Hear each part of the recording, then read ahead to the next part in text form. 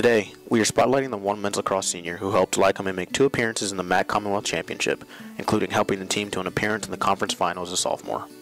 Congratulations to number 13, Jake Davis. A Honeoye High School graduate, Jake is a four-year letter winner as a defender and long stick midfielder.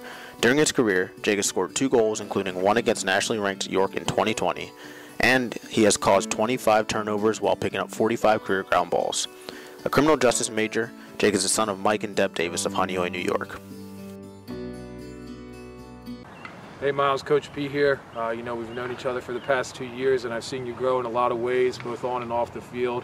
Uh, you know, it's been a little bit of tough love here and there, but I think it's gone a long way. And uh, you've definitely seen the benefits of what hard work can do, both in the weight room and in the classroom.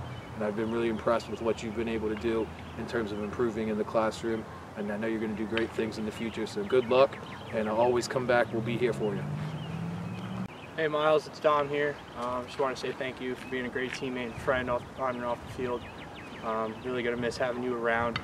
Um, I just wish you good luck the rest of the way, and gonna miss you 12. Gonna miss you. Hey Miles, uh, just want to say thanks for all the work you put into this program.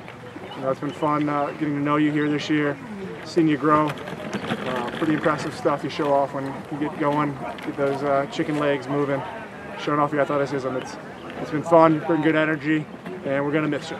Thanks, bud.